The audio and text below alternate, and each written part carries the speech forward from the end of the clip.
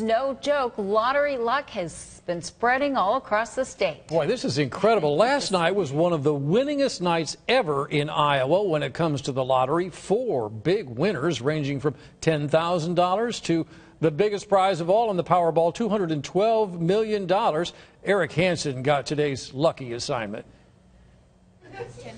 Winners are unusual. A nine figure jackpot down the streets, even rarer. But what happened last night in Iowa makes you take a swig of the water and say, what is it, whatever's in it, I think we all want. Because it started a half hour after Wednesday night's drawing. But all we knew at first was that there was a jackpot winner, and then slowly um, there started to be more news about more winners. A million in Williamsburg, a hundred thousand in Fort Madison, 10,000 in Hiawatha. By the time it was done, even we were just completely awestruck. I, I can't believe how many winners there were in Iowa last night. So many that the lottery wanted to make sure something wasn't fishy. We've run our security checks that we always always run. Everything is fine. It's just Iowa had an incredible run of luck last night. Especially one customer at the Bondurant Casey's along Highway 65 who won the second biggest Powerball jackpot in Iowa history.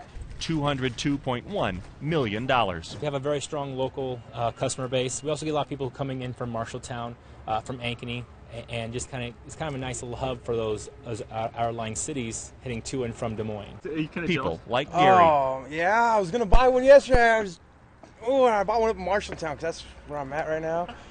I bought one up there, and I knew I should have bought one down here. It might not have been him, but somebody won. Well, I'll be thrilled. I work here in town, so I'll be thrilled if it's somebody from town. And the belief that some have that it never happens in Iowa.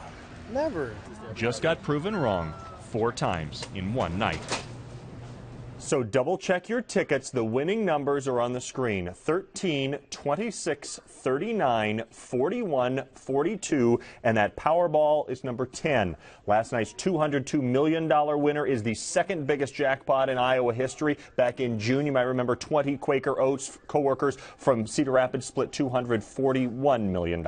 Yeah, it was 202. I misspoke. Yep. I said 212. But Eric, it makes you wonder why all the winners this year in, in, in Iowa. Is there something in the water or what? well, part of it is no doubt luck, but there is also more to it than that. There is an really? actual reason. We will answer that coming up tonight. Oh, a little method to this madness. Yep. You have me intrigued, Eric. Thank you very much. While we're talking about